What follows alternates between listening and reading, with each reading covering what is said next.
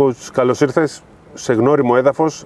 Πώς είναι τα συναισθήματά σου κάθε φορά που έρχεσαι εδώ και βέβαια κάθε φορά που αντιμετωπίζεις τον Ολυμπιακό; Εντάξει, κάθε φορά που έρχεσαι εδώ τα συναισθήματα είναι ιδιαίτερα. Όλα αυτά τα χρόνια που ήμουν στον Ολυμπιακό ε, περάσαμε πολύ όμορφες στιγμές και δύσκολες αλλά και όμορφες ε, οι οποίες σε δένουν και με την ομάδα και με τον κόσμο. Ε, γενικά ο Ολυμπιακός είναι μέσα στην καρδιά μου. Αυτή τη στιγμή όμως βρίσκομαι στον Ερυθρό Αστέρα και θα κάνω το παν για τη νέα μου ομάδα για να πάει καλά. Πάντως και η ομάδα που πήγες είναι μια ομάδα που έχει τις καλύτερες δυνατές σχέσεις με τον ε, Ολυμπιακό. Είναι τυχαίο. είναι ε, σύμπτωση νομίζω. Ε, δεν ξέρεις που θα πας. Ήρθε η πρόταση από τον Ερυθρό Αστέρα. Ε, είναι μια ομάδα ο Ερυθρός Αστέρας που εκπροσωπεί το σέρβικο μπάσκετ. όλοι ξέρουμε πόσο ε, προηγμένη χώρα στο μπάσκετ είναι η Σερβία, ε, που έχει βγάλει αμέτρητους παίκτες, ταλέντα, ε, έχουν παίξει πάρα πολύ μεγάλοι παίκτες στην Ελλάδα στο παρελθόν, έχουν περάσει πάρα πολύ μεγάλοι προπονητές Σέρβοι. Νομίζω ότι είναι μεγάλη τιμή για μένα να εκπροσωπώ έναν τόσο μεγάλο σύλλογο από μια τόσο μπασκετική χώρα και μάλιστα ο σύλλογος αυτός, ο Ερυθρός Αστέρας, είναι ο πιο λαοφιλής στη Σερβία. Άρα είναι πολύ σημαντικό για μένα να να είμαι σε αυτή την ομάδα που έχει τόσο μεγάλη, είναι τόσο μεγάλο κλαμπ. Σε αντιμετώπισαν με μεγαλύτερη αγάπη επειδή ήταν μια από τις προηγούμενες ομάδες Ολυμπιακού. Νομίζω ναι, βεβαίως. Ναι. Ακόμα δεν έχουμε προλάβει. Είμαστε, είμαι τρεις εβδομάδες περίπου και κάτι. Ε, ξέρεις, δεν έχεις έρθει ακόμα σε επαφή, δεν μπορείς να, να δεις το τι γίνεται, τι γίνεται γύρω-γύρω. Η μεγαλύτερη μου ε, προσοχή πλέον είναι στην ομάδα, στο αγωνιστικό κομμάτι, πώς θα βελτιωθούμε γρήγορα, πώς θα ξεπεράσουμε προβλήματα τραυματισμών, πώς θα καλύψουμε κάποιους τραυματίες παίκτες, ε, να μάθω το πώς παίζει ο κάθε παίκτης, να μπορέσω να το αξιοποιήσω ανάλογα με αυτό που κάνει. Άρα πιο πολύ είμαι focus σε αυτό το κομμάτι τώρα και λιγότερο στο, στο γύρω-γύρω. Παλιότερα εμείς μεγαλώσαμε με τους Σέρβους να έρχονται όλοι στην Ελλάδα. Πλέον είσαι ο Έλληνας που πήγες στη, στη Σερβία. Είναι σημεία των καιρών ή πλέον έχουν προοδεύσει τόσο πολλοί Έλληνες προπονητές που πηγαίνουν και σε μια χώρα που παραδοσιακά βγάζει τους μεγάλους προπονητές; Εντάξει, νομίζω ότι οι Έλληνες προπονητές έχουν καθιερωθεί στο top επίπεδο και στην Ευρωλίγα, αλλά όχι μόνο στην Ευρωλίγα. Βλέπουμε πολλούς Έλληνες προπονητές πλέον που δουλεύουν στο εξωτερικό και κάνουν πολύ καλή δουλειά σε όλα τα επίπεδα ε, του μπάσκετ και σε εθνικές ομάδες και βοηθεί σε μεγάλες ομάδες. Ε, νομίζω ότι έχουν βγει οι Έλληνες προπονητές προς τα έξω. Πλέον το ελληνικό πρωτάθλημα δεν μπορεί να κρατήσει όλους τους Έλληνες προπονητές. Ε, υπάρχει, υπάρχουν γενιές προπονητών που έχουν γαλουχηθεί μέσα από το ελληνικό πρωτάθλημα και έχουν βελτιωθεί και πλέον διαπρέπουν και στο εξωτερικό. Και αυτό είναι πάρα πολύ σημαντικό για την Ελλάδα και για, γενικά για την προπονητική στην Ελλάδα. Εσύ προσωπικά έχεις μάθει πάρα πολλά χρόνια να πηγαίνεις σε ομάδες στα μέσα της σεζόν και να τις φτιάχνεις. Πώς είναι για σένα άλλη μια τέτοια αποστολή και ναι. τι βρήκες στον Ερυθρό Αστέρα; Σωστό είναι αυτό γιατί πραγματικά. τον Πανιόνιο ξεκίνησα. Από τον Πανιόνιο ξεκίνησα Νοέμβριο, στον Ολυμπιακό Νοέμβριο, στη Μακάμπη Νοέμβριο, στον Ερυθρό Αστέρα Οκτώβριο. Αλλά ε... πάλι στο ίδιο γήπεδο πρώτο μάτσε Ευρωλίγκα. Ναι. Όπως ναι. με τον Ολυμπιακό. Όπως με τον Ολυμπιακό, ναι. Ε, είναι μια κατάσταση που πλέον έχω την εμπειρία να διαχειριστώ, γιατί δεν είναι εύκολο να μπαίνει σε μια ομάδα που έχει συνεχόμενους αγώνες. Ε, δεν είναι εύκολο να διαχειριστείς ένα ρόστερ που δεν το έχεις χτίσει εσύ. Εγώ όμως ε, έχοντας δουλέψει υπό αυτές τις συνθήκες στις προηγούμενες ομάδες μου, ε, γνωρίζω πώς πρέπει να προσεγγίσω την κατάσταση αυτή που βιώνουμε τώρα και όσον αφορά το τεχνικό κομμάτι αλλά και το κομμάτι της διαχείρισης. Ε, αυτή τη στιγμή δουλεύουμε στο να μεταλλαχθεί η ομάδα από την προηγούμενη κατάσταση στην καινούρια. Δουλεύουμε στο να καταλάβω εγώ πώς θα αξιοποιήσω καλύτερα τους παίκτες που έχω, το υπάρχον δυναμικό. Ε, και δουλεύουμε ώστε να βελτιώσουμε το παιχνίδι μας από μέρα με τη μέρα, έχοντας όμως παιχνίδια, θέλοντας τα αποτελέσματα, γιατί πραγματικά κάθε αποτέλεσμα μετράει. Οπότε πρέπει να, από τη μια να κερδίσεις, από την άλλη να αλλάζει λίγο και το πρόσωπό σου. Ε, νομίζω ότι σιγά σιγά προ, προχωράμε προς την κατεύθυνση αυτή που θα, θα επιδιώξω να παίξει η ομάδα. Ε, όσο περνάει ο καιρός θα γινόμαστε καλύτεροι. Περιμένουμε να αποθεραπευτούν και αρκετοί παίκτες που έχουμε τραυματισμένους για να μπουν και αυτοί μέσα στο rotation και να μπουν και αυτοί μέσα στη χημεία και στους ρόλους που θέλουμε να δώσουμε στην ομάδα. Οπότε πιστεύω ότι όσο περνάει ο καιρός θα είμαστε και καλύτεροι. Ήσουν ένας προπονητής που είχε τα προηγούμενα χρόνια ταμπέλα του αμυντικού προπονητή. Κάτι που εσύ δεν, το, δεν συμφωνούσες. Έχει αλλάξει η φιλοσοφία σου ή ποτέ δεν ήσουν έτσι; Και αν τέλος πάντων υπάρχει, έχει γίνει ένας άλλος Φερόπουλος πλέον στο μπάσκετ. Έχει αλλάξει η θεωρία του για το άθλημα; Όχι, δεν έχει αλλάξει η θεωρία μου. Απλώς εξελίσσεσαι σαν προπονητής. Ε, εγώ δεν, δεν μπορώ να πω ότι ήμουν αμυντικογενής προπονητής. Κάποιοι που το λέγανε αυτό. Φυσικά και πρέπει η ομάδα να παίξει καλή άμυνα. Ε, αλλά και στη Μακάμπη και, και τώρα στο, στον Ερυθρό Αστέρα βλέπουμε ότι Δηλαδή, εγώ το πρώτο που έκανα και στη Μακάμπη και στον Ερυθρό Αστέρα είναι να παίξει ομάδα πιο γρήγορα στην επίθεση. Δηλαδή, να, να βγούμε πιο γρήγορα στο ανοιχτό γήπεδο, αλλά να παίξουμε και στο σετ παιχνίδι πιο γρήγορα. Έτσι έχει γίνει το μπάσκετ, νομίζω πλέον. Έτσι, έτσι έχει γίνει το μπάσκετ, έτσι είναι το μοντέρνο μπάσκετ και πρέπει να το ακολουθήσεις. Δεν είναι ότι πριν δεν, δεν ήθελα αυτό το πράγμα.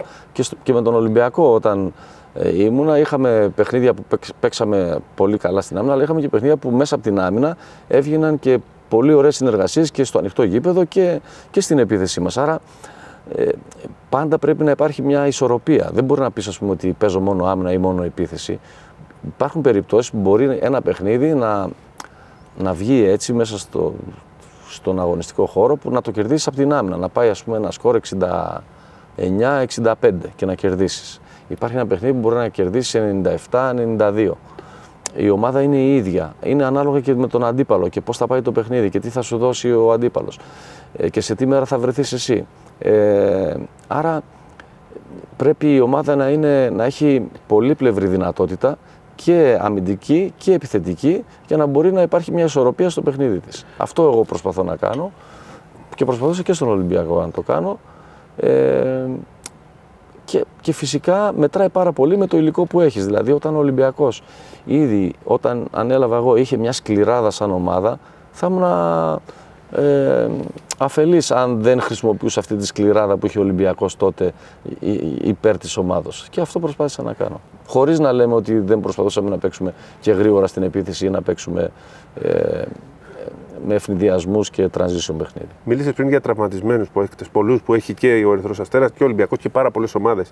Πιστεύεις ότι η Ευρωλίγκα έχει γίνει τόσο σκληρή λίγκα που δεν αντέχουν οι παίχτε, είναι και αυτός ένας λόγος που είναι πολύ τραυματίες. Δεν, δεν είναι η Ευρωλίγκα, είναι ο συνδυασμός όλων των, των, της καταπώνησης από ε, όλα αυτά τα παιχνίδια. Γιατί οι παίκτες παίζουν και στην Ευρωλίγκα, αλλά παίζουν και στο πρωτάθλημα και παίζουν και στην εθνική ομάδα.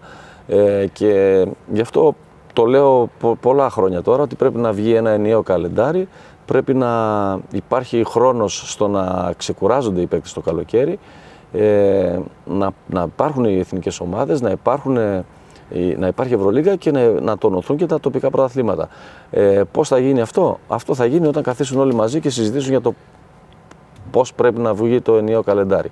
Ήδη η Ευρωλίγα ε, χάνει παίκτες που πηγαίνουν στο NBA, τους καλούς Ευρωπαίους παίκτες, ε, στο NBA έχουν ανέβει τα salary cap. Τα salary cap. Ε, στο, στη G League έχουν ανέβει τα salary cap. Πλέον οι παίκτες οι Αμερικάνοι και από την G League ακόμα δεν έρχονται στην Ευρώπη γιατί πλέον μπορούν να πάρουν μεγάλα συμβόλαια. Ε, άρα η ποιότητα πέφτει. Και πέφτει επίσης και από την καταπώνηση των παικτών. Γιατί όταν ένας παίκτης είναι διεθνής και παίζει για 4-5 σερή χρόνια 80 μάτς τη σεζόν χωρίς σταματημό, ε, λογικό είναι να έχει και τραυματισμούς και καταπώνηση και να μην είναι φρέσκος για να αποδώσει το γήπεδο όπως πρέπει να αποδώσει. Άρα η ποιότητα του αθλήματος πέφτει. Μπορεί ο συναγωνισμός να μεγαλώνει, αλλά η ποιότητα πέφτει. Ε, αυτό πρέπει να το σκεφτούμε όλοι εμείς που ασχολούμαστε με το, στο χώρο και να κάνουμε αυτό το ενιαίο καλεντάρι που έχω πει πολλές φορές με, με πρόβλεψη και για ξεκούραση των παικτών το καλοκαίρι. Μια και είπες για τις εθνικές ομάδες, την ε, συνεργασία της Εθνικής με τον Βασούλη Σπανούλη, πώς την ε, βλέπεις, πώς βλέπεις την Εθνική για το μέλλον; Εντάξει, ο Βασίλης είναι ένας, μια προσωπικότητα του μπάσκετ, ε, όχι μόνο στην Ελλάδα, σε όλο τον κόσμο, στην Ευρώπη, σε όλο τον κόσμο, παγκόσμια. Ε, έχει ξεκινήσει πολύ καλά με το Περιστέρι, δείχνει πολύ καλά δείγματα γραφής προπονητικά. Ε, ξέρουμε όλοι ότι ο Βασίλης μιλάει και ασχολείται με τον μπάσκετ το πρωί μέχρι το βράδυ. Ε, θεωρώ ότι η συμμετοχή του στην εθνική ομάδα και η προσωπικότητα που έχει θα συσπυρώσει όλους γύρω του. Ε, νομίζω ότι είναι μια επιλογή που ασφαλώς θα βοηθήσει την εθνική ομάδα γιατί ο Βασίλης ε, έχει και τις δυνατότητες και την προσωπικότητα να χτίσει κάτι πολύ καλό για την εθνική ομάδα. Σε πήρε κανένα τηλέφωνο όταν έγινε προπονητής ή πριν γίνει καμιά συμβουλή για την εθνική, ας πούμε, αν σου ρωτήσεις, σου ζητήσει κάτι, θα το κάνεις. Ε, ε, γιατί ξέρω ότι έχεις πολύ καλή σχέση. Βεβαίως, έχουμε άριστες σχέσεις με τον Βασίλη, ε, αμοιβαίο σεβασμό ε, από τα κοινά μας χρόνια στον Ολυμπιακό. Ε, έχουμε μιλήσει πολλές φορές, έχουμε βγει και έχουμε βρεθεί και εκτός γηπέδων ε, και έχουμε συζητήσει. Ξέρει ότι αν τυχόν χρειαστεί κάτι οποτεδήποτε θα είμαι κοντά του.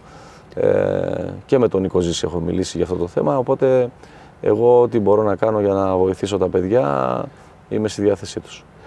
Έχεις πολύ καλή σχέση και με τον Γιώργο Μπαρτζόκα, ο οποίος πλέον τον Ολυμπιακό γενικά πώς το βλέπεις; Και θεωρώ ότι μαθαίνεις ότι ο Ολυμπιακός είναι σε μια δύσκολη θέση λόγω των προβλημάτων που έχει και των κακών αποτελεσμάτων. Τον Ολυμπιακό πώς τον βλέπεις ε, φέτος; Κοίταξε, είναι λάθος νομίζω. Για... Καταρχήν έχεις δίκιο ότι με τον Γιώργο είμαστε πολύ κοντά και έχουμε και με αυτόν πολύ ιδιαίτερη σχέση και καλή σχέση.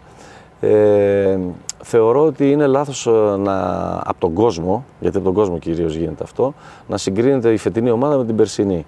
Ε, ο Ολυμπιακός είναι μια διαφορετική ομάδα φέτος που προσπαθεί να χτίσει τη χημεία της. Είχε την αναποδιά των τραυματισμών και αυτό καθυστερεί να βρει τη χημεία, του, τη χημεία της η ομάδα.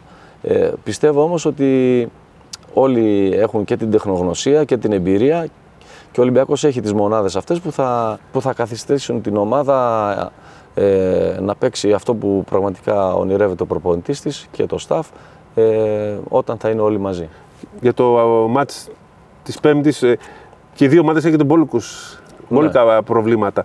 Ε, θεωρείς ότι είναι ένα μάτς προβλημάτων και τελικά θα αντέξει αυτός που έχει περισσότερο μεγαλύτερο ρόστερ; Ναι, είναι ένα μάτς προβλημάτων. Εγώ δεν θέλω να κρύβομαι πίσω από τα προβλήματα που έχουμε εμείς. Ποτέ δεν το έκανα αυτό και δεν θέλω να το χρησιμοποιήσω σαν δικαιολογία. Εμείς ε, θέλουμε να παίξουμε τον μπάσκετ με αυτούς τους παίκτες που έχουμε εδώ πέρα. Έχουμε έρθει 11 βασικά. Δεν ξέρουμε αν ένας θα παίξει αύριο.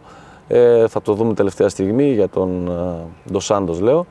Ε, οπότε θεωρώ ότι ε, είναι ένα μάτς ε, που πρέπει να το διαχειριστείς με τους παίκτες που έχεις. Ε, παίξαμε χθες ε, με τη Φενέρ και είχαμε την ατυχία στο ίδιο μας να τραυματιστούν και τα δύο point guard που έχουμε. Ε, οπότε καταλαβαίνεις ότι πρέπει να βρούμε τρόπους ε, εναλλακτικούς που η ομάδα να συνεχίζει να παίζει αυτό που θέλει να παίξει με κάπως διαφορετική χημεία.